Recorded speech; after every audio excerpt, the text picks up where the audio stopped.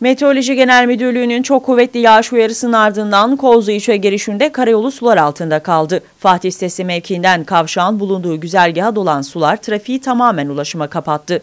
Bazı sürücüler araçlarını park ederek suyun tahliye edilmesini bekledi. Arızalanan araçlarsa vatandaşların yardımıyla bölgeden uzaklaştırıldı.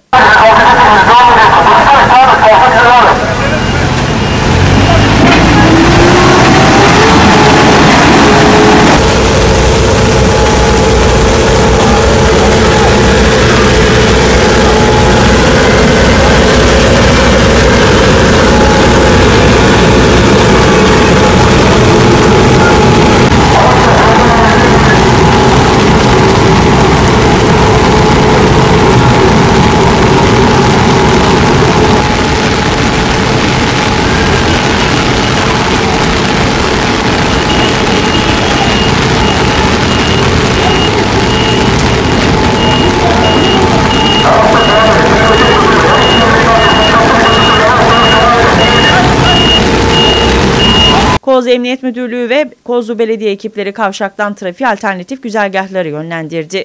Yol güzergahındaki bazı işyerlerine su bastı.